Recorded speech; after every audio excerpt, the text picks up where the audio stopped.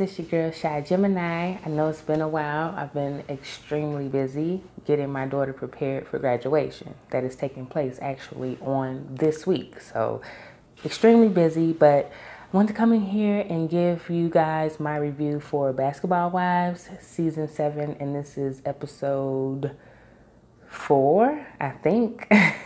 we'll roll with it. Anyway, so basically, the episode starts off where it left, and that was at OG's party with Evelyn, Tami, Jackie arguing. So again, it's been established that Tami and Evelyn will not be friends. Um, they're not here for each other. It's done. Jackie is still trying to stay her case with Evelyn. Evelyn is not here for it. She's done. She doesn't want anything to do with Jackie. So it is what it is. Jackie has to accept it.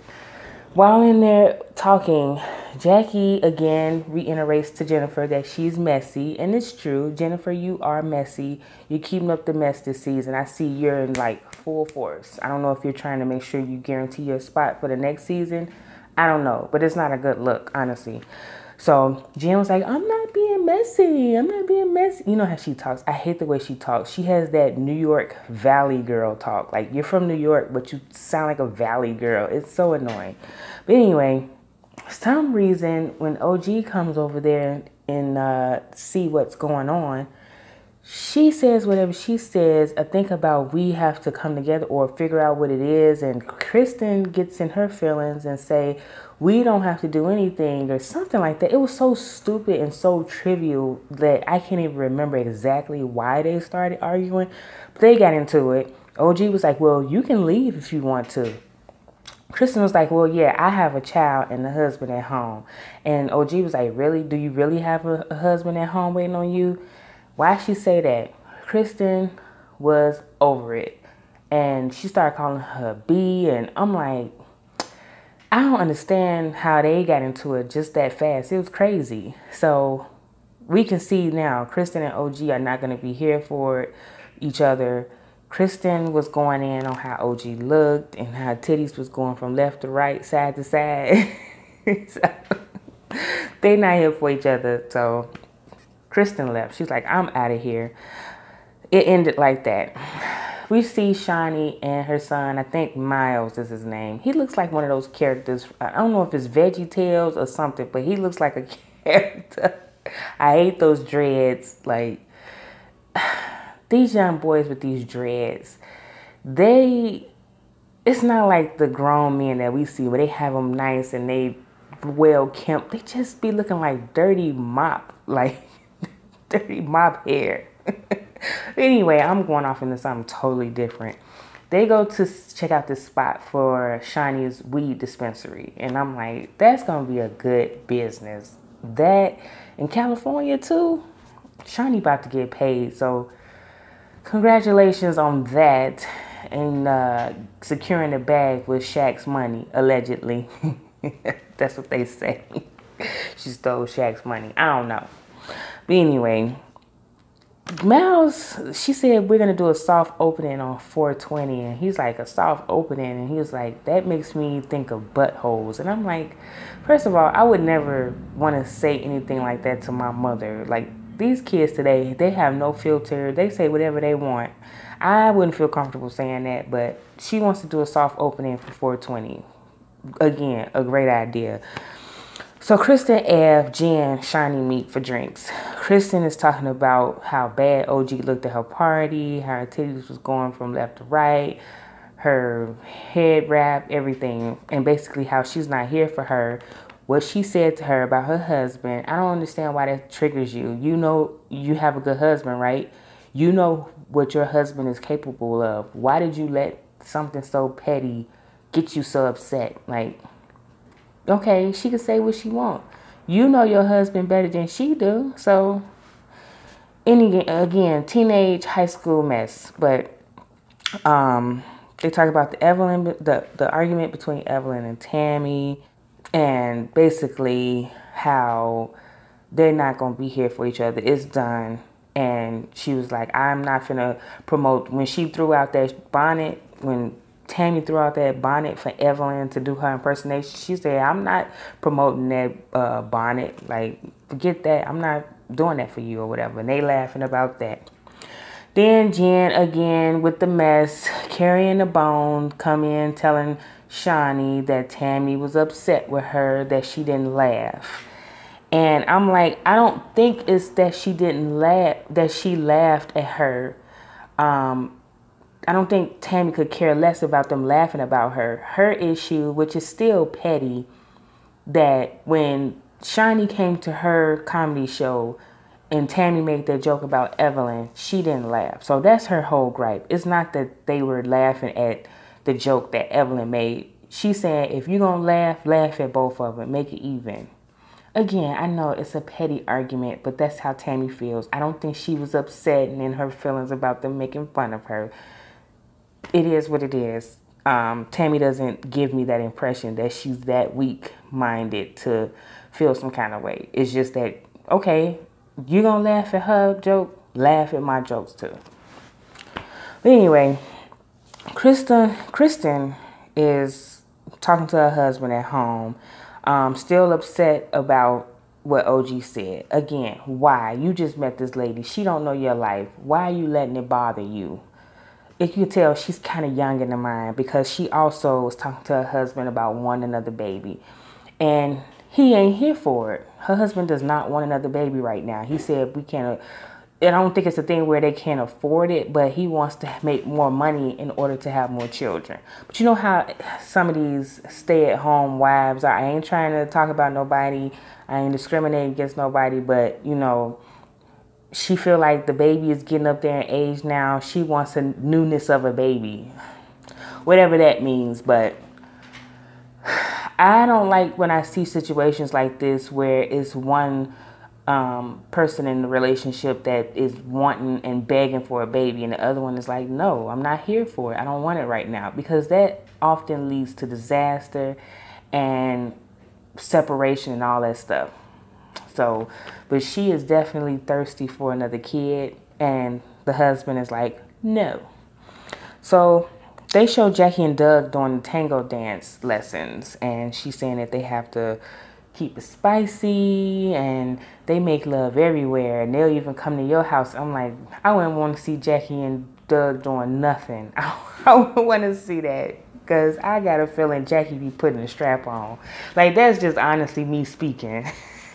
so I wouldn't want to be a part of that. Nah, Jackie, you can't come to my house and do that. No, you keep that over there at the Christie's house. But Tami and Shaunie meet again, and Shaunie says she um heard about the party and um, they talked about OG and how bad she looked. oh gosh. And then Tami goes into the conversation that um,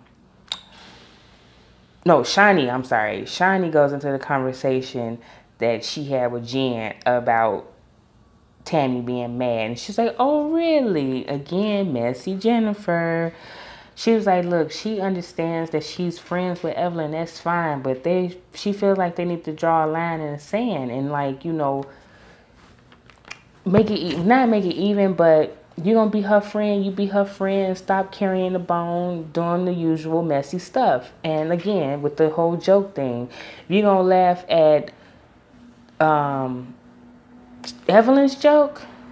Laugh at my jokes too. So, Shaunie she was sitting there acting like she understood where Tami was going, but I don't know. Who knows? I don't trust Shaunie. I think Shaunie's sneaky. I've said that before, and I'll continue to say it. I don't. I don't trust her as a friend. Honestly speaking, I think she's all for self. I don't really feel like she. I mean, if she leans anywhere, I think it'll be more towards Evelyn and Jen, not Tami. So I wouldn't trust her.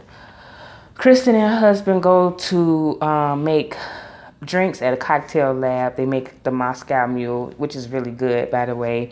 Again, they have to talk about the baby. She wants him to have enough drinks so that he can want to have a baby, but not too many drinks to the point where he can't perform. So, but his her, her husband was still uh, sober. He had his wits about him. Uh, he was getting a little tipsy, but he still stood on the fact that, that he does not want any children, no more children. So that's gonna be um, tough for her. He seemed like he ain't the one that can be persuaded super easily, so she gonna have to really work hard on him.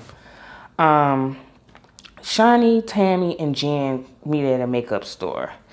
Um, Jen again asking her how she felt about the pool party. And she was like, you know, it is what it is. We not friends. We've established that. Whatever. Jen still wants Evelyn and Tami to get along. Tami like, look, she'll be cordial with her when she see her, but it is what it is. You can't force people to be friends that don't want to be friends. I hate when people do that. Like, don't put me in a situation where I'm around somebody that I don't like. Like as long as I'm cordial with them and I'm not being nasty and starting fights, leave me alone. Don't force me to be friends with somebody I don't want to be friends with. Period. So fall back, Jen. Damn. Jeez. Jackie and her daughter talk about the whole Evelyn. she Jackie's upset with herself because she allowed Evelyn to take her to a place that she didn't want to go.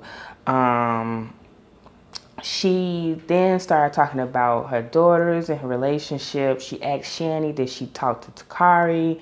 She said no. She's done some things that she doesn't necessarily agree with, so she has to love her from afar. So they're basically talking, and then Jackie's like, Do you think that I was overprotective? And Shaunie said something along the lines that, um, I don't know how they got to this point, but she told Jackie basically that she's never been a hugger, never been affectionate, and Jackie was like, you know, she was taken back by that. I can tell that that kind of affected her that her daughter didn't feel like that she got enough hugs and stuff like that. And I can kind of relate because in my family and with my mom, like we're not affectionate people. We don't hug like that. I feel like as I got older and as my mom got older, she has become more affectionate.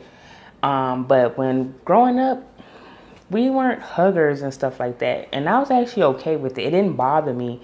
I know some people, it bothers them, but it didn't necessarily bother me. I felt like I knew that my mom loved me, so it was no need for her to be constantly hugging and kissing up on me like that. So, but some people need that, and I get it. So Jackie was saying she knows she got issues that she has to deal with from her childhood, so she's gonna go talk to somebody. And I'm like, that's good, Jackie, because yeah, you do have some issues you need to really work on. Next thing we see Shaunie and her mom. I really don't want to focus on this because they were talking about she let her mom know she was doing the weed business and how she would like to use some of her recipes for the weed shop or whatever.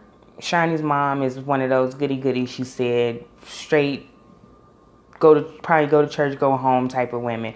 I just want to acknowledge Shaunie looks exactly like her mom. That's all. That's all I really want to say. They look exactly alike alike. And she seemed like a sweet person. Her name is Dear. So yeah. Malaysia rides in the car with Jen to meet Evelyn and they talk about um Jen tells her about what's going on with uh, baby making hips Tim. So they talk about that. Then she was saying how she wants everybody to get along and she wants Malaysia and Ev specifically to talk outside of Jackie because she knows that Malaysia and Jackie are friends and she wants her to get to know Evelyn without Jackie being an influence. They get to the restaurant, they talk.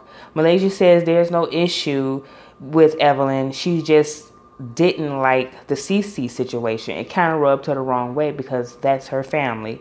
And Evelyn said, you know, I understand that. I apologized about that, but it's cool. Like, I don't have no beef with you either. They just gonna see where it goes. They're willing to talk. Um, they they're gonna try to build, I guess, build something without the presence of Jackie.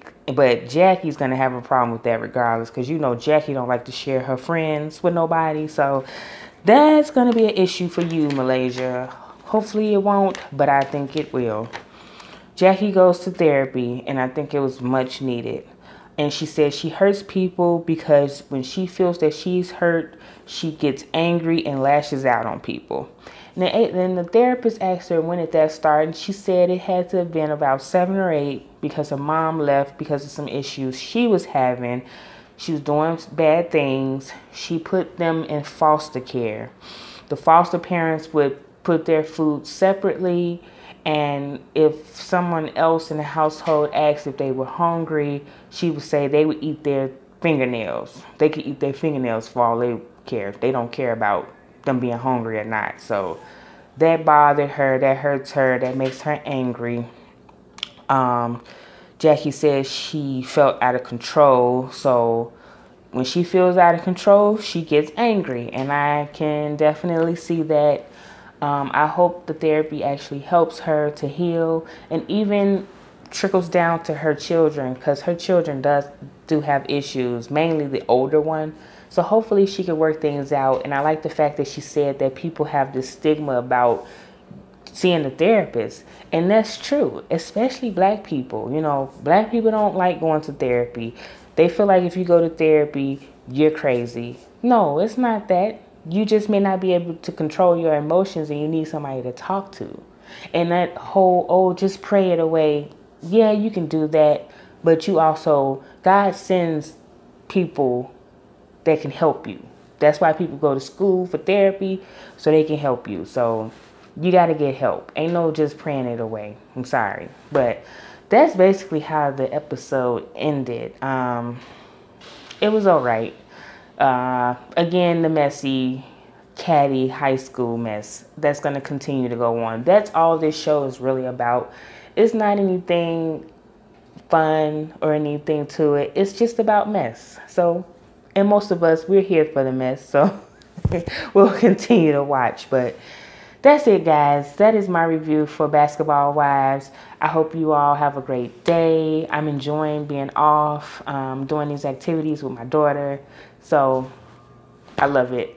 Have a wonderful day guys. Thumbs up this video share subscribe join the family okay? Have a great day